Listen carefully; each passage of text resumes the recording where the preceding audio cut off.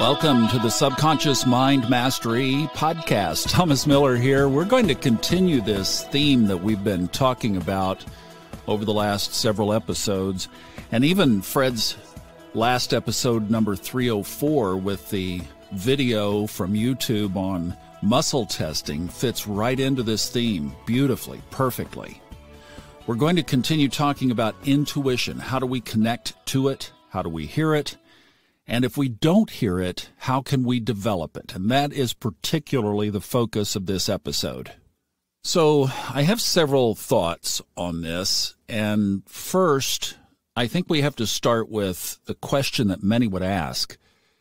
You, you know, you go back to the episode that we did a couple back, the voice. Do you hear the voice? And not when your airplane is about to crash into the side of a mountain. I mean, do you hear it when you Analyze a piece of food and say, is this the best thing for me to eat right now? Is that something that you could even get an intuitive feeling about without having to muscle test, without having to swing a pendulum, without having to draw a deck of cards? Is that just something that would be easily and readily available right here, right now? That's the goal. All right. So let's walk backwards from that. It can be there for all of us every day, I firmly believe. But this duality of our nature is masked by the other part of our nature, and that is our conscious monkey mind, if you will, that seems to work against it. All right, so let's take a couple of steps back here. And first of all, go all the way back. Is this something that some people are born with? And I just got the luck of the draw. I wasn't, so I have to try to figure it out. Me and Google trying to navigate life. Well, yes and no. I do think some are more inherently born with it. And where it shows up in astrology would be the moon, the sign Cancer, Neptune, and with that, the sign Pisces. So those are four areas of the chart. Now, for myself, I was born with my sun, so that's who I am, literally in a direct line in the sky on the night I was born with Neptune. There's the psychic connection. But I'm not psychic. I mean, I I've never seen a spirit. You know, Majana now, on the other hand, her aspects are not as strong, but she was born seeing spirits since a child.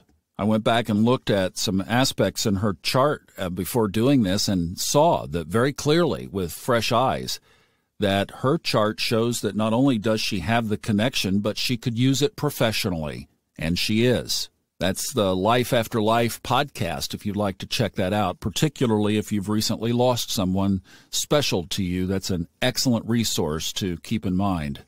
So, yes, it is something that I think some people are born with those areas more activated. But look, you have four points in your astrological chart including one of the most important ones, the moon, you've got a pretty good chance that you're not deprived of this ability. Let's just put it that way. You have it in there. It's just a matter of where, to what degree, and how you are supposed to use it. While we're mentioning other podcasts, I have the Fun Astrology podcast, and on that website, funastrology.com, we have three readers you can avail yourself of. And then the other podcast is the Robert Glasscock Old Soul, New Soul Astrology Podcast. And Robert is booking readings. So there are great resources there for you to avail yourself of. If you'd like somebody to sit down and say, hey, show me where my intuition capabilities are, that would be the way to do it. Now, here's a question, too, that really parlays this strongly and quickly. If you were born with it, have you pushed it down or pushed it away? At some point. I hear that theme many times from many people.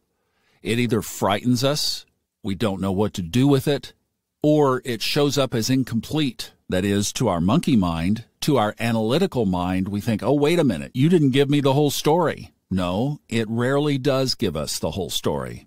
Well, if at some point, maybe even as a child, maybe even out of your conscious recollection, you stuffed it and then now you're trying to walk on the spiritual path. You'd like to access it, but it's pushed down. And you've put many layers on top of that. So we have to reemerge it. We have to clear the way so that the root can spring up above the ground again. We're going to circle back on those points. Just hold them as possibilities and think about what of those might be applicable in your own life if you don't hear the voice. Now, let's take another tact at this. When are times that the voice is there for us in our lives? I mean, what are we talking about here? What kind of scope of reference or what should I expect this connection to be? Does it just show up in emergencies? Like the TWA Flight 800 example that I like to use, where a lady approached the boarding gate and then suddenly put on the brakes and said, I'm not getting on that airplane. You've heard other similar stories. A wife will call her husband who is heading to the airport and say, Don't take the plane that you're thinking about taking. The wise husband listens. There's always another flight, even if there's a question and you don't have to know the rest of the story. It may not be that that airplane crashes, but it might be that the car that you would have rented at that time could have gotten into a head on collision. You just don't know. What about major directions in life? There's another time that the voice can show up. For me, when I met the mother of my kids, I got an intuitive prompt right the very first day. No. We were trying to be set up by her family, who I was close to in Tulsa. No. Well, I went on, and there was a lot of karma that came out of that. Fred Dodson's email this guy about doing his audiobooks. Both pivotal directions. One I did not listen to, and it changed my life. One I did listen to, and it changed my life. And then there can be minor directions, like my little Aspen ski score story. Don't reach in and get your phone to take that picture and it's not the phone that fell, it was my glove that fell, and I had to go retrieve it. Then there was another Aspen incident that I haven't made public, but it was a clear instruction that I didn't do, and there was a consequence. I think of Jean, who wrote an email at a prompt to ask if I would want to house sit. And that was, I wouldn't say that was a minor direction. That was probably more under the major direction categories. But for her, she got her house sitting covered. That's all she wanted was her cats to be taken care of and, and the house to be cared for while they were away on spring break. For me, it was a definite fork in the road. And I was able to continue that on to this place where I am now in Western North Carolina. That was from an intuitive prompt. And then we can bring it down even to day to day directions. Like I mentioned before, is this the best substance or food, nourishment, drink to put into my body right now? Is this activity or this person or this relationship or this whatever, fill in your own blank, is it my best, highest timeline to engage in this now? So you can either get an intuitive feeling or if you're learning to walk, you know, we how do we learn to ride the bicycle? Then you can use Fred's video from episode 304 to help muscle test around these things. That's a way to tune in to the same thing. The feeling is simply a more developed version of the muscle testing. It still shows up in your body. It's just how you're plugging into it. It's what radio device are you listening to? Are you listening to a radio, an old fashioned radio in the room? Or do you have symphonic earbuds in and you're tuned into a high definition or high fidelity podcast or music source? You see what I'm saying, right? It's just, it's the same message. It's just coming at you in different ways. Now, two audiobooks from Fred, the Intuitive Awareness Method and Intuition Training are both books that would be incredibly valuable for you in moving this forward.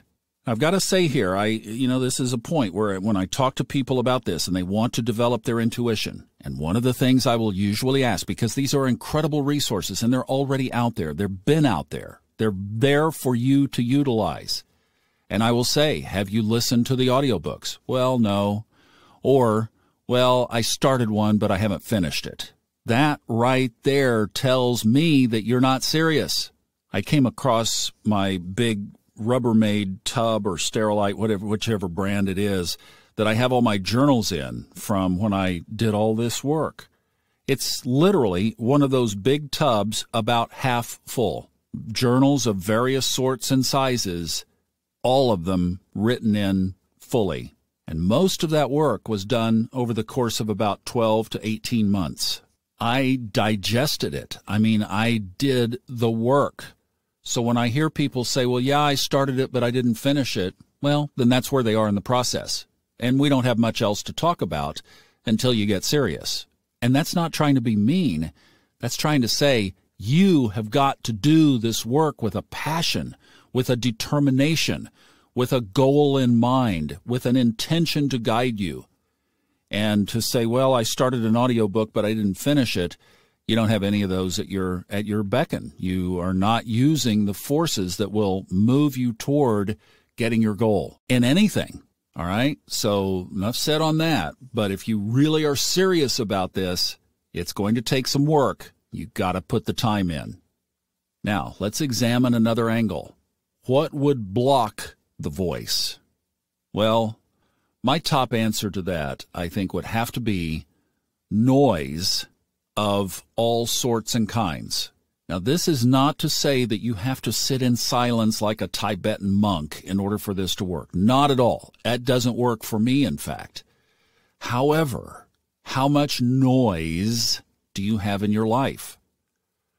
Are you able to find quiet, peaceful, retreated times, either in your home, on a walking trail in your neighborhood, on a bicycle ride, out in nature on a hiking trail, sitting beside a creek or a lake or a pond, taking a drive on one of your favorite roads, and not with anything on, just you and yourself and your thoughts and your presence, both sides of your nature there together without a lot of other interference. See, I think we have too much noise in our world. And when we get into silence or when we get into quiet, we have to put something on because we can't be still. We can't stand being quiet. We can't stand not having noise. You can't go eat now without noise. I mean, it's in the other patrons in the restaurant. And then, in order to crank up the, the level, they play music or have televisions on. Not one television, sometimes 14.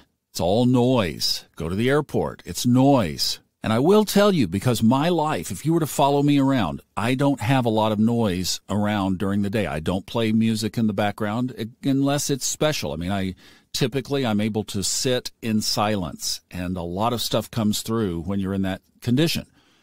And when you get into a noisy environment, it's a shock. It's like, oh, I can't handle this. I can't even think. I can't hear. I can't talk. Well, it's the same in reverse. When you're conditioned to noise and you get into silence, it's a shock. So you have to ease yourself back in to either environment.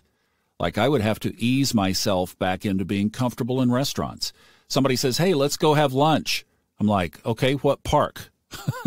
they look at you like you came out of Mars, you know?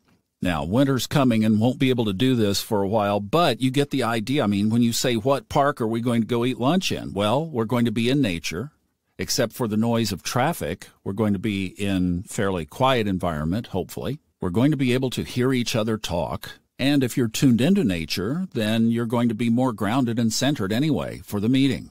So let's take both sides of this because for some, too much silence could also disturb any idea that there was going to be a message coming through. So I think you have to find the right balance and environment for you. That's between stillness, physical stillness versus physical movement. That's level of noise versus level of silence. You have to find your own balance. Now, here's another one, and this was a big one for me in Aspen, and that was simply turning down the monkey mind. You have to presume that that voice is in you. It's part of you. It's part of your divine nature. The problem is our monkey mind has so suppressed that little voice. Think of a great big hammer and a little bitty nail, and you have an anvil. And the little bitty nail tries to stand its little self up and it wants to be heard, but the great big hammer boom, slams down on the nail, flattens it to nothing, and says, I've got this. I'm in control. I'm the one that's going to call the shots. You're just a nail. Well, how many times is that little nail going to try to put itself back together? Boom! There it comes again. Boom! And see, we do that over and over and over, and our little fragile connection to the home office just gets shattered. So, your intuitive voice might be like a very flattened out nail sitting on top of an anvil. Using that analogy, what I got to was the point where I negotiated with myself to say, All right, Thomas, you have two parts of you. You have the nail, and there's this dominant hammer. Hammer, are you willing to give the nail a chance to speak? Are you willing to let it stand up its little self and have a voice? And the hammer would say yes. Sure, why not? If that's the voice that can hear around the corner, says, oh, "Gee, I'm sorry, I didn't realize that that could that the nail could actually see the future." Well, yeah, I, I'm sure. Well, then what I did out there on those hiking trails, see, acknowledging both sides, acknowledging that there's a nail, acknowledging that there's a hammer. One is more dominant than the other in our in our natural state. But to say, hammer, look, the nail has things that you don't have. And saying to the nail, the hammer has things you don't have. But instead of acting like a dog and a cat, or a cat and a parakeet here, let's act harmoniously. Are you willing to cooperate with each other? Because, and I told them both this, I'd say, Hammer, I would really rather have the nail driving this show, being in the position that you have occupied. Now, that's not to minimize you. I'm not saying to go away, and I don't want to flatten you out like the poor little nail has been, because you're valuable too. So when the nail gives us direction, when we know where we're going, then yeah, I want you hammering on that anvil to give us the next steps, to move things forward, to get things going dynamically and powerfully. But let's let the nail guide where we're going, or where we're hammering, or what we're forming the thing into. So I would get out there on the hiking trail, which put me in my best Zen zone, and I would start walking and I would say, Hammer, are you willing to be quiet? Are you willing to stand aside? Are you willing not to slam down on the anvil until we get to that tree up there? Yes, certainly. All right, Nail, you are now invited to speak. And that's where I laugh because I wouldn't get five or ten steps bam, pound, boom, boom, and the poor little nail is flattened back out on that an- on that anvil. You know, it's like, oh, Hammer would say, "I've got work to do. I'm just trying to help." Well, I would stop and I would say, "Wait, we have a deal." Negotiating still with these two inner parts of Thomas. And as you know, I've told this story a number of times. That dance would continue until finally we would get agreement enough and the hammer would slow down enough, not swing, until I got to that tree or that rock. And then eventually I could get further. And then eventually, over time, I could get to the whole trail. And then eventually, the shift happened where the nail now drives the show and the hammer comes into action after we know what direction we're going. So now that's my default state. I think once you make the shift, then you've got it. Oh, no, there are times where the hammer gets big again, like when I was moving, when I moved into Lord Jupiter, for example, and had that little T bone in the back uh, accident where the guy ran into me from behind. That happened to just slow me down because I'd let the hammer get way out of balance. So I'm actually thankful that there is some kind of mechanism in place that I could count on that is going to guide me back. All right, let's tackle a couple of others here, and then we're going to start talking about what we can do. So another block could be, and this one could be deeper than you think, subconsciously, you might not be willing. You might say you're willing, but subconsciously, you're not willing. Subconsciously, you really want to stay in control. You don't want to surrender it to an unknown, ambiguous, unproven commodity, even if it was part of yourself, something that you're not familiar with. Oh no, I'm not letting control go. Oh, I might say I want to. Yes, I want to be spiritual. Yes, I want to do the thing. Uh uh No, no, no, no. Deep inside, not going to happen. Here's another one. Maybe you've argued with it in the past, and there is some past instruction or guidance that is unfulfilled. This one is especially powerful when that unfulfilled guidance can still be fulfilled. If it's a closed door, then it's just cleaning it up with the past and you move on. But if there is some guidance that you've been given, this pattern shows up in all kinds of things. It shows up in the Bible, it shows up in history, it shows up in biographies. You'll see this a lot where somebody is given a direction, they don't do it, and until they circle back and fulfill that later down the timeline, then they don't get the next direction. So, this is again being brutally honest with yourself. Nobody else is listening. Is there some direction that you can recall and remember that you were given that needs to be fulfilled? All right, here's another broad topic. I'm not going to spend a lot of time on this. You guys know where I stand on this, but let's just kind of group into one. Things like drugs, alcohol, or other substances that are not natural. We're talking about a natural spiritual pipeline here. So here's another area where we can have an accumulation of things that really we know need to be purged that are not purged that are in the way, and they will block it. I thought of the Greek word pharmakeia. Sound familiar? Pharmacy, pharmaceutical? Well, if you drill down on the meaning of the Greek word pharmakeia, it is an abstract noun, so it's a noun, meaning sorcery, magic, the practice of magic arts. Isn't that interesting? How that correlates to how we have adapted that as pharmaceutical. See, the Greek language, especially that the Bible was written in, is much more precise in its words than our English language are. We catch so many broader definitions. So the concrete noun pharmakon means poison primarily. First definition, poison. Second meaning is magic potion or charm to achieve a desirable objective. That complements pharmakeia.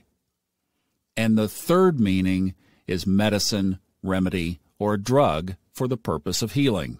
Well, all of these unnatural substances put us in that realm of sorcery, magic, practice of magic arts, and poison. I mean, I'm sorry, guys, but a lot of things that we ingest are poison in our system.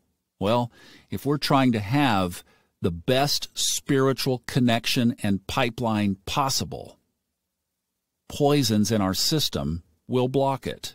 That's as far as I'm going to go but you get the message. All right, now let's bring this home. So if you don't have the voice, perception, intuition on a daily, even case by case, hourly or less basis, like what Fred was talking about in episode 304, like what I was able to develop in Aspen, like being able to look at some food and just intuit by asking, is this my highest timeline to ingest at this time. If you don't have that, what can we do? I listed out a lot of things, and I know we're running long typically for one of my episodes, but let's go through these. All right, so number one, simply ask for it. You know, even in the Bible, it says, You do not have because you do not ask. Well, take that to heart. And if you don't have it in all sincerity, simply ask for it ask that blocks be revealed to it. If I have a block, in all honesty with myself, please show me what it is and give me the wisdom to turn it around. And I'll give you a hint on the block. Look the opposite direction. Go to Jerry Seinfeld, George does the opposite. Watch the YouTube video. It's about three or four, five minutes. Laugh and then do the opposite. I can't tell you how golden that little technique has been for me. Okay, another one practice, practice, practice turning down the monkey mind. Telling the hammer, we're going to stand down. I want you to listen to the nail. Find that reversal point where the nail gets to not only stand up, but actually rise above the hammer, telling the hammer where to swing.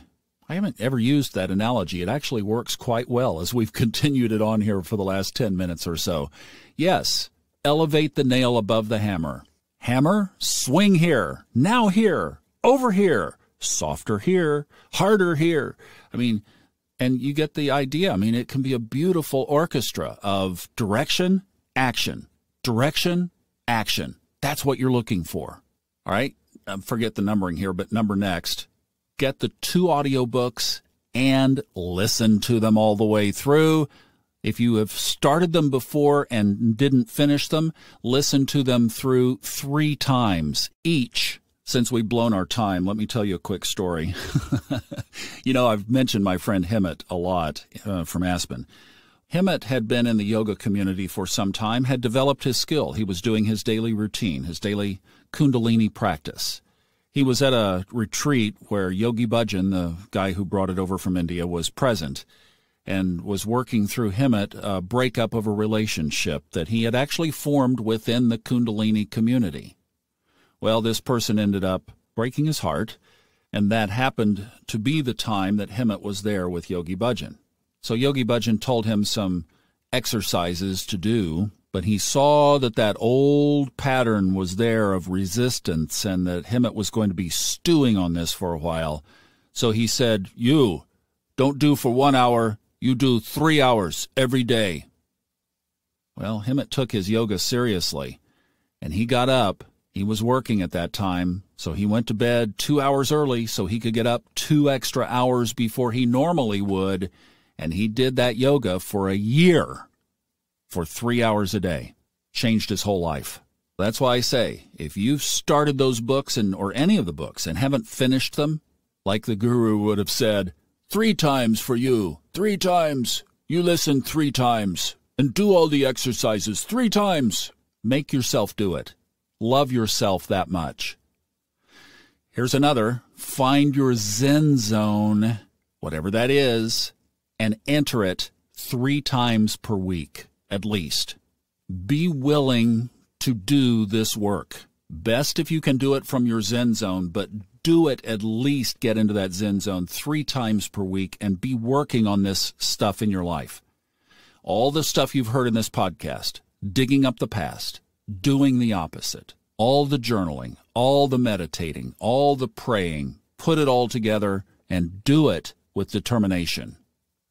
Now, when you finally do get a connection, thank the connection. Thank it right there. Gratitude. Thank you for showing up.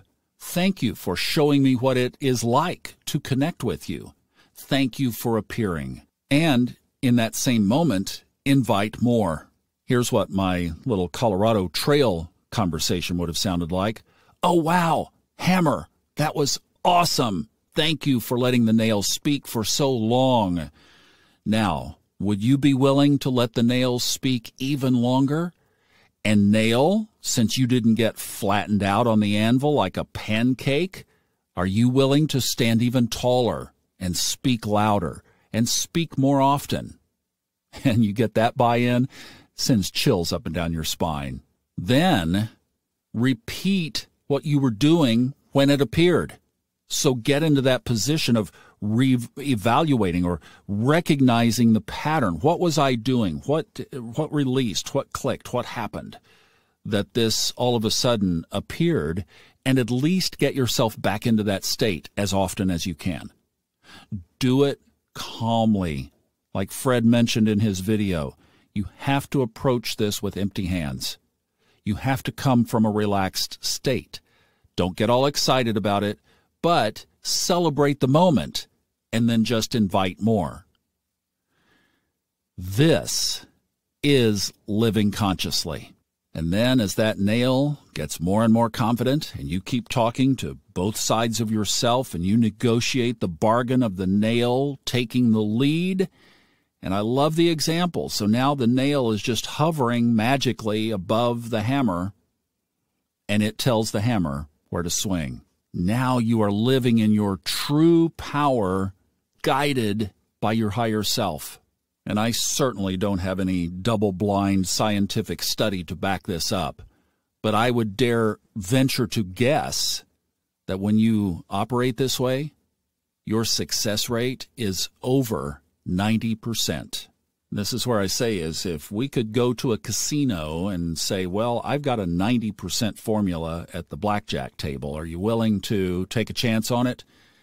Well, that's to me what this is. It's a high probability of success every time because you are being guided at that point by your very sole purpose for being on the planet.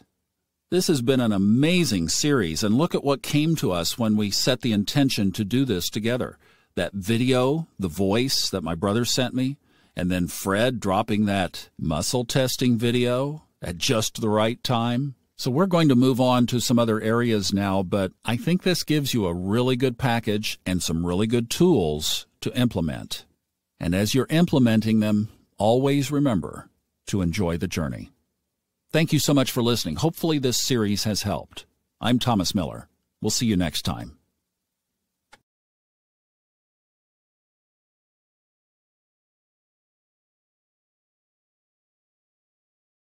The stories and opinions expressed on this podcast are independently those of the host and guests and are not intended to be taken as medical advice or to replace medical care from a licensed professional when appropriate.